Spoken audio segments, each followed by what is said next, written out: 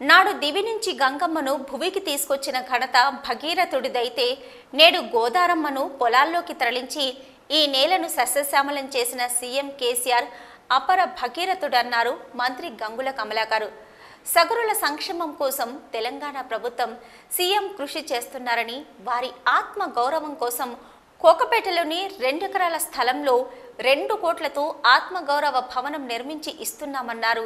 హైదరాబాద్ రవీంద్ర భారతిలో బీసీ సంక్షేమ శాఖ ఆధ్వర్యంలో భగీరథ మహర్షి వేడుకలను ఘనంగా నిర్వహించారు. ఈ వేడుకలకు రాష్ట్ర బీసీ సంక్షేమ శాఖ మంత్రి గంగుల కమలాకర్ ముఖ్య అతిథిగా హాజరై భగీరథ మహర్షికి ఘనంగా నివాళులర్పించారు.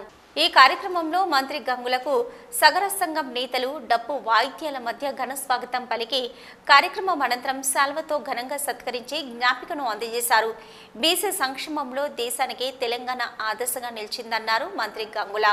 వెనుకబడిన వర్గాల సంక్షేమం కోసం తెలంగాణ ప్రభుత్వం కట్టుబడి ఉందని మూడు వందల పది బీసీ కురుగులాలను ప్రపంచ స్థాయిలో నిర్వహిస్తున్నామన్నారు.